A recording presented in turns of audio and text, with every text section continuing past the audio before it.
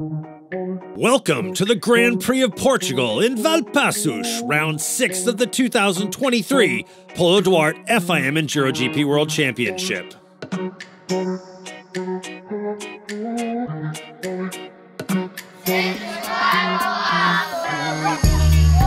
In conjunction with the FIM's Ride Green and Keep It Shiny and Sustainable programs, the Enduro GP riders and organizers team up with local children and officials to raise environmental awareness and plant the future in Valpaços.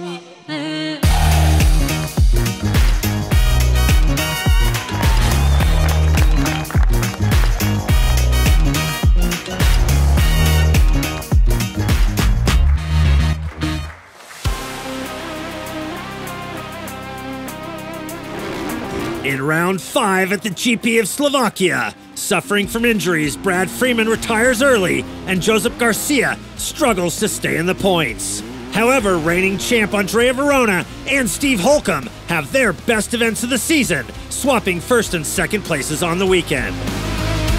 Arriving in Portugal, Holcombe has a 13 point lead over Freeman, with reigning EGP champ Verona and Garcia still in the title race, too.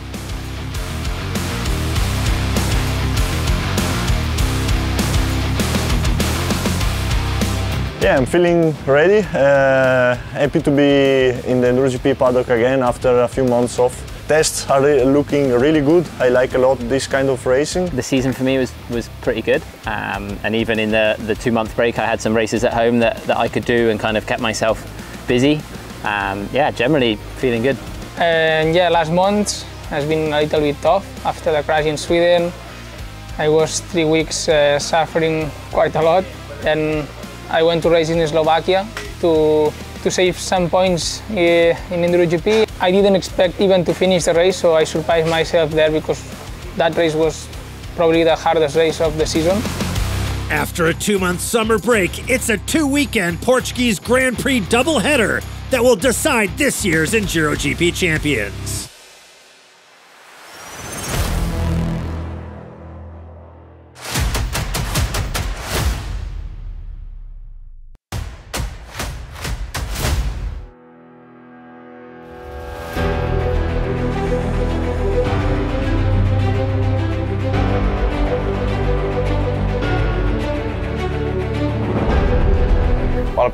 Hi everyone, I'm Bruno Crivellin from Brazil, the only Enduro GP rider who speaks the local language Portuguese. Welcome to the last two rounds of the World Championship here in Portugal.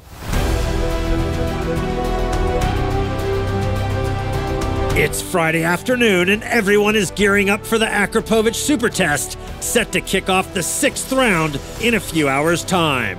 But before the racing gets underway, the Enduro GP riders get the festivities started with a parade to the town hall for the opening ceremony and to hear a few words of encouragement from the mayor of Valpaços.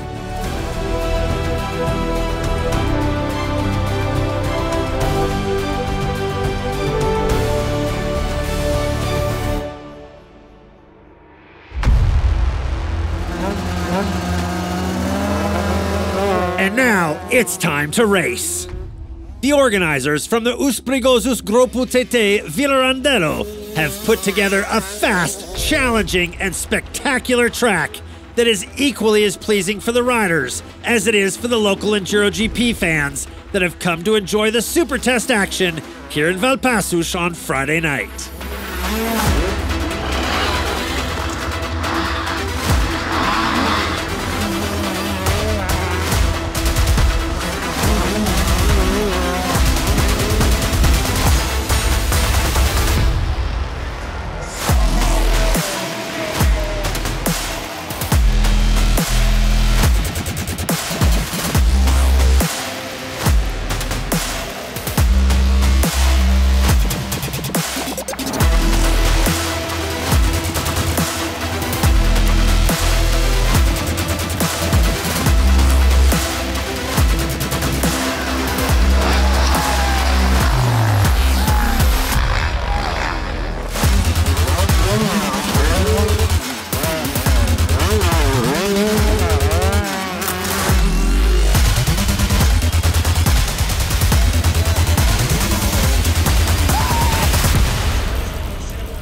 Andrea Verona is a second and a half off the winning pace, taking third in the first test of the weekend.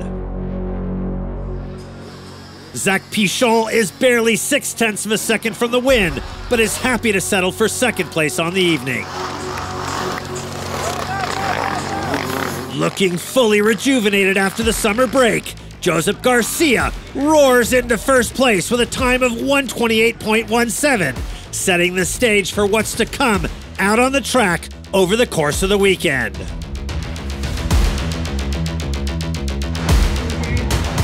Start like this at GP is so good. I know that it's not the race, the race will be tomorrow, but it's always good start to feeling good on riding the super test, so can't wait for tomorrow.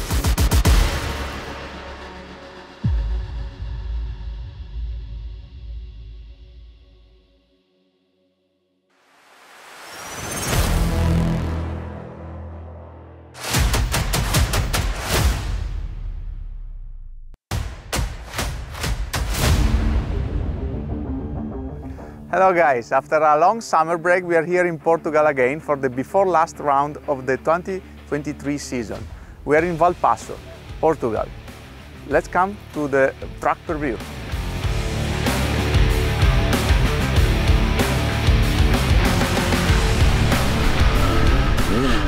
The Polysport Extreme test is the first special test of the day. Riders need almost 30 minutes after the start to arrive here and for sure their arms are going to be warmed by a few technical sections. This test is fantastic. It's a typical style of the north of Portugal. Huge rocks with a lot of grip and tight passages.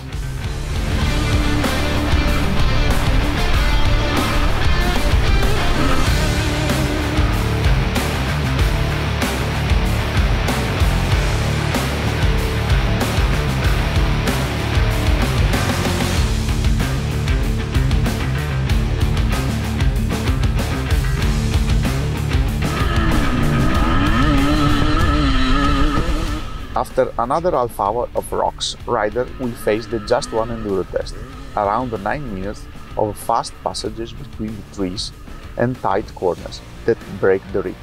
A demanding test because the intensity of the corners give no breaks.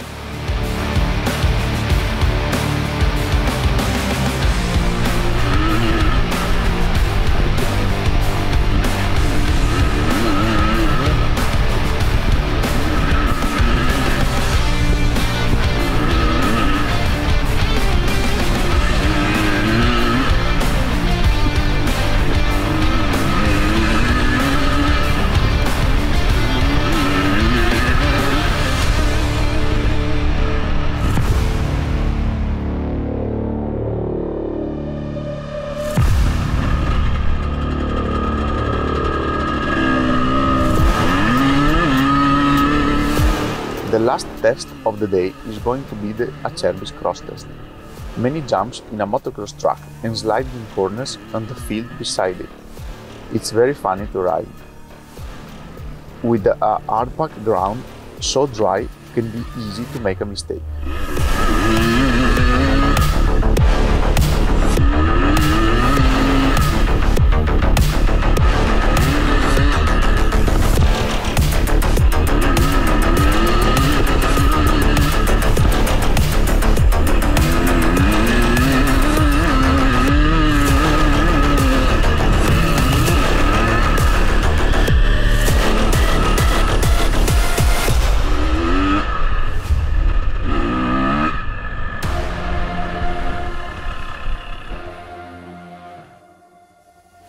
Here we are. This is the GP of Portugal, typical Portuguese ground, physical race, nice weather for all the weekend. See you on Saturday on the first special day.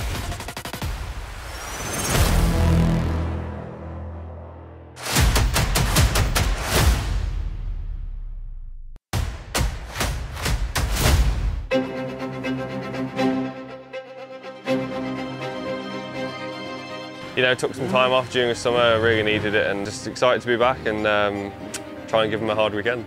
Yeah, generally, I mean, the points are what they are. You know, my plan is to come here and, and try and do the best that I can. You know, if I win, that's great. If not, then yeah, have a go next year. For sure, it will be a big fight in the next few days. I'm even more excited to, to be into the fight, you know. Let's go full gas.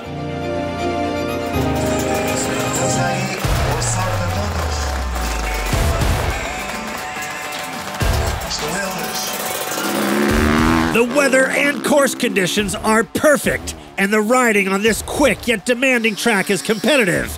But Garcia and Verona are the fastest out of the gate and the early favorites. Holcombe claws back precious seconds on the leaders throughout the morning, while Freeman's form is obviously affected by the last two months spent convalescing from serious brain bruising caused by crashes in the three previous rounds.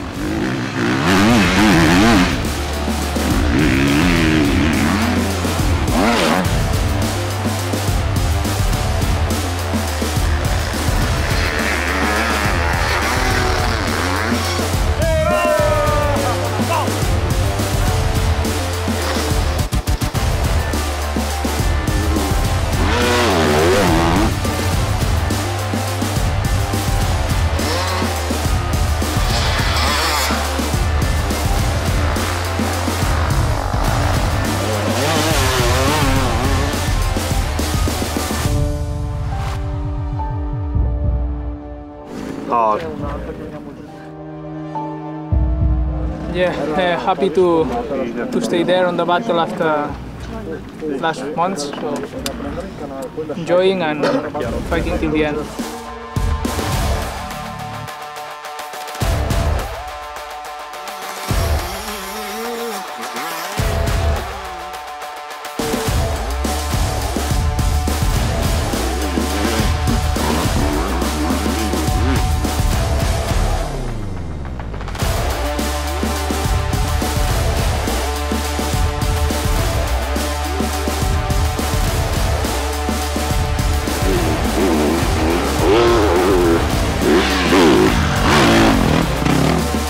After almost seven hours on the dusty, hard packed terrain under the scorching Portuguese sun. Only five seconds separate the top three riders as they roar off for one final high flying lap around the Acerbis cross test.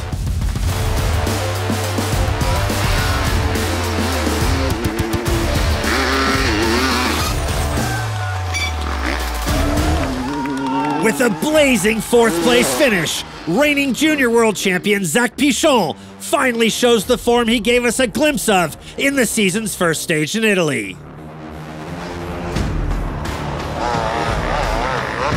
Steve Holcombe has one more test win than Verona, but comes up short where it counts in third place, 2.21 seconds behind his Italian rival. Andrea Verona wins three tests, but still finishes second, 6.37 seconds off the winning pace. Mm-hmm. Joseph Garcia posts the fastest time in four specials, and crucially in the final Acerbis cross test to secure his third stage victory of the season. Here's the final results tally from stage one of the Grand Prix of Portugal in Valpaços. Now let's take a closer look at the performances of today's Enduro GP Top 10 out on the track.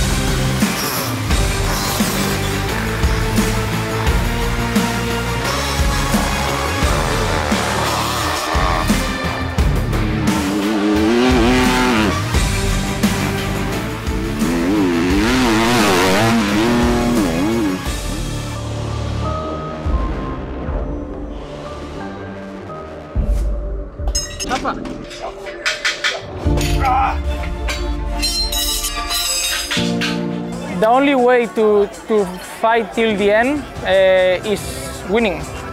First race that I've been a father, win, so I think this gives me extra extra motivation and an extra push till the end. So yeah, it's it's so good. Yeah.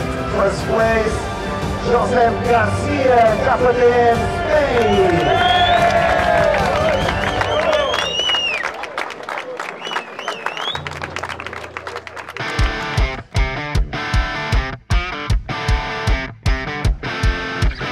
In Enduro Open World Cup racing, most of the category's top riders are present and accounted for in Valpaços.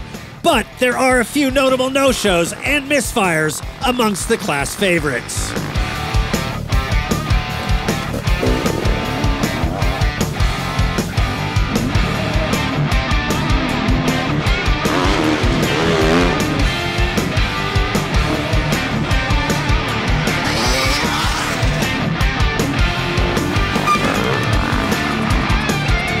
At the end of the weekend, Haddock and Marshall still lead the two stroke and four stroke standings, but Muller overtakes Bellotti in the senior class.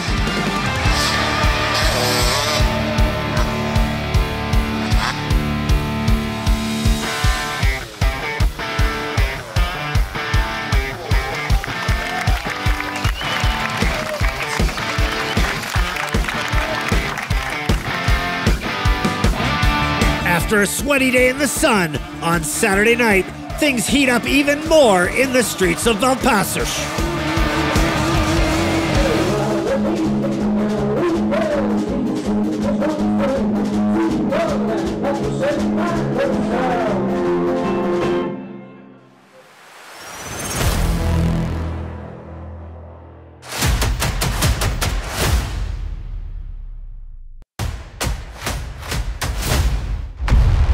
After a hard hitting first stage, the riders are prepared for more of the same and pick up where they left off, straight out of the start gate on day two.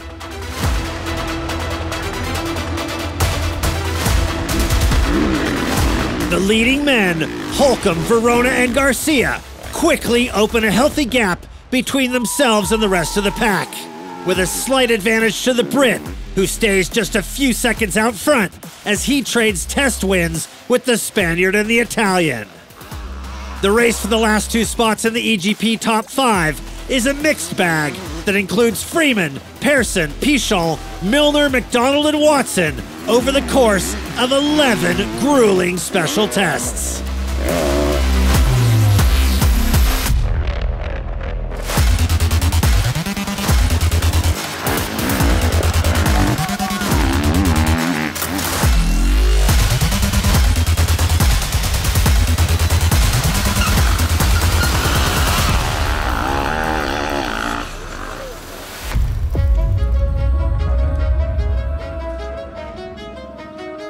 Almost in the last, no, we are in the last lap, so I need to make a good extreme and then the other tests I feel good, so push and try to, to recover that small gap and try to be at front. The last lap and a half is a nail biter. After a major error, Verona injures his hand and loses contact with the two leaders. After the second to last Acerbis cross test, Garcia takes the lead from Holcombe for the first time all day. With only two specials to go, Holcombe claws back in front of Garcia by 3.86 seconds in the final Just One Enduro test, leaving the stage win to be decided between the Spaniard and the Brit by one last high speed sprint around the Acerbis cross test track.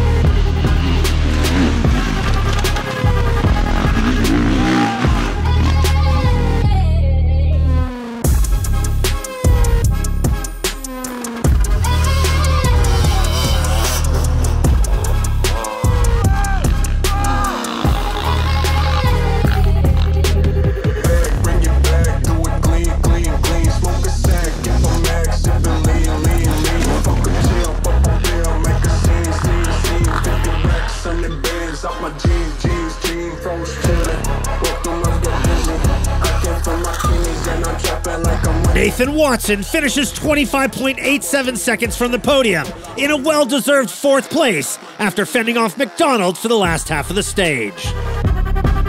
Andrea Verona loses almost a minute over the last two tests, but the reigning EGP champ holds on to finish solidly in third. Steve Holcombe fails to rise to the occasion in the final Acerbis cross test, crossing the line a frustrating 1.9 seconds short of the win. Joseph Garcia goes full gas in the final special to secure his third stage victory and first two day sweep of the season. Here are the final results from stage two of the Grand Prix of Portugal in Valpaços. Now, let's take a look at the performances of today's Enduro GP Top 10 out on the track. Mm.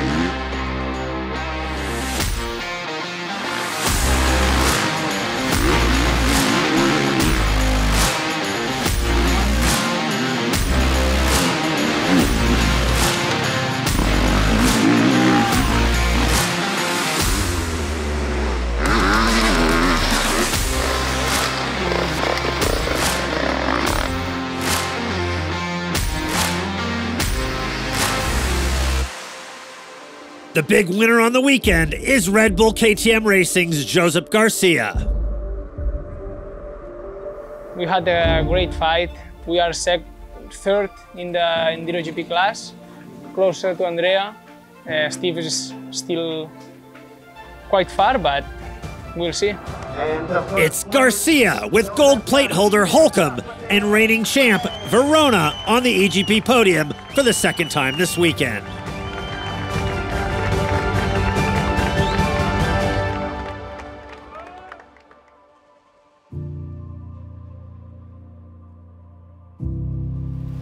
I'm really, really, really looking forward to these two weekends. I'm feeling really good, really good on the bike, healthy, so yeah, I'm really looking forward to it.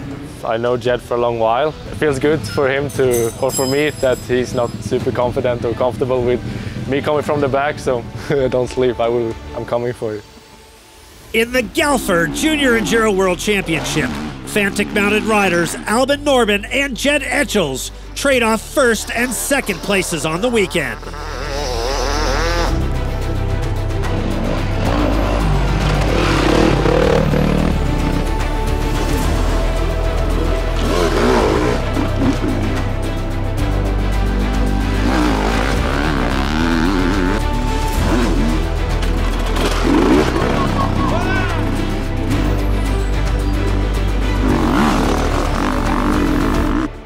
The standings remain the same in Junior Enduro for the fourth round in a row, with Jed Etchells leading Albin Norrbin and Jeremy Sydow.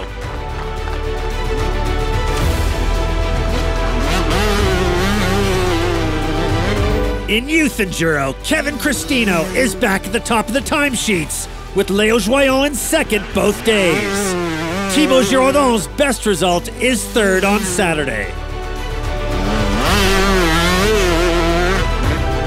The youth Enduro standings are the same as all season after Valpaços, with Italy's Cristino in front of the French duo Giraudon and Joyon. It's been a fast and furious weekend of racing in Valpaços at the penultimate Portuguese Grand Prix before the paddock heads south for the Enduro GP season finale.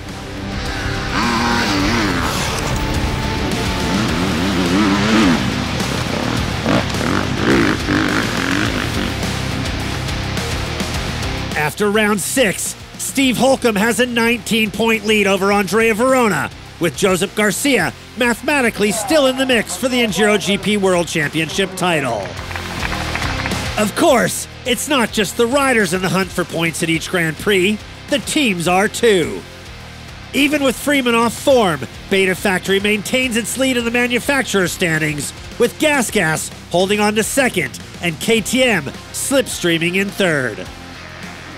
It's been a hot, sweaty, and exciting first leg in the Grand Prix of Portugal doubleheader, with the title races becoming well defined in every category.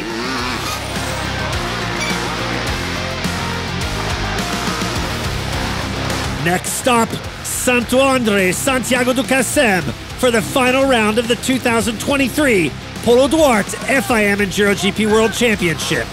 We'll see you there.